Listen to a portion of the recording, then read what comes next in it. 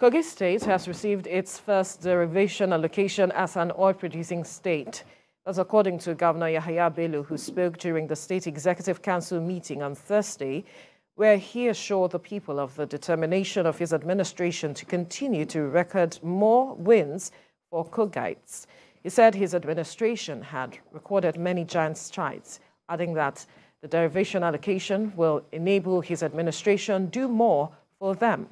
Addressing pressmen after the State Executive Council meeting, the State Commissioner for Information and Communications, Kingsley Fanwo, said the derivation allocation came at a time the state government was building legacy projects across the state, addressing that the governor would ensure judicious use of the derivation allocation.